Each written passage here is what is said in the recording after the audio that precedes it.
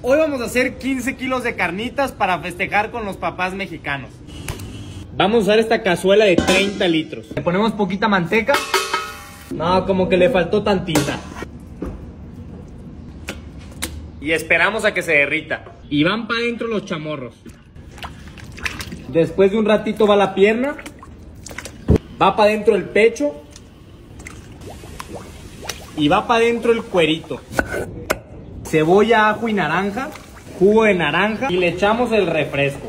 Hoja de aguacate, laurel y tomillo. Sal y pimienta entera. Vamos a hacer una salsa tatemada. Y va para afuera todo. Unas cebollitas asadas en cubos. Y la clásica de carnitas, una verde cruda. Unos cubitos de aguacate y cebollita cruda. Y después de cuatro horas van para afuera las carnitas. Con cuerito y todo.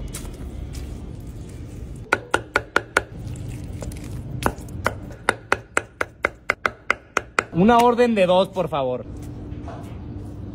Con doble tortilla, por supuesto. Uno con salsita roja y el otro con salsita verde. Cebollita y cilantro, limoncito. Muchas felicidades a todos los papás por su día tan especial. Les deseo lo mejor a todos. Qué mejor manera de festejar el día de hoy que con unos buenos tacos. Ustedes son un ejemplo a seguir para nosotros los hijos. Muchas gracias por todos los regaños, por las enseñanzas y por los buenos momentos. Y feliz día a todos los papás de México y todo el mundo. Y que chille.